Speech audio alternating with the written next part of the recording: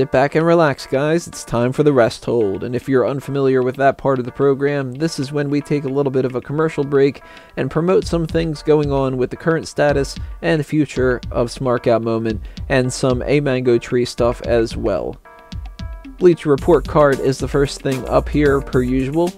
And for this week, there are the two usual things that I wrote for the coverage of the pay per view, breaking down the results of the biggest highlights and low points of Payback, as well as reviewing the biggest stars of the night. So if you want to read those articles, you can go on the homepage of smarkoutmoment.com under the little Bleacher Report card subcategory. You can also find links below on YouTube if you're watching this there or if you're on iTunes and Stitcher, some alternative things that you can do are go on the Facebook and Twitter accounts for A Mango Tree, Smark Out Moment, and Tony Mango.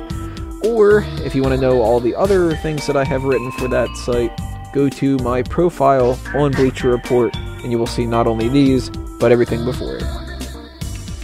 Next up is Smark My Words, where I showcase something that you guys have sent in for the comments.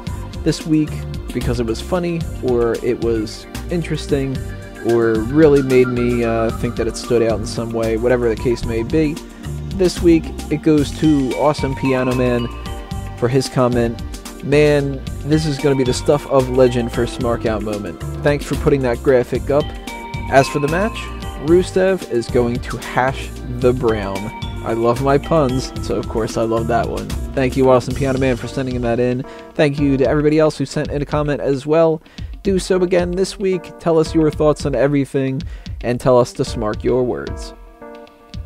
The next edition of the monthly mailbag will either be coming up on the next episode of Smack Talk or the one after it, depending on how many questions you guys send in this week. If we have enough to justify doing it next week, we'll do it then, but if not, we'll push it back to episode number 136.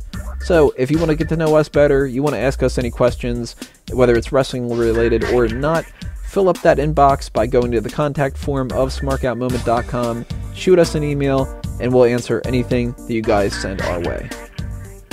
If you want to show your support for the website and for Smack Talk, keep in mind about the Sign Me Up initiative. That is where if you bring a sign that says smarkoutmoment.com to any kind of a wrestling event, and send a picture or a video of it to me. I will feature it on the website as well as on the next episode of Smack Talk in the Rest Hold.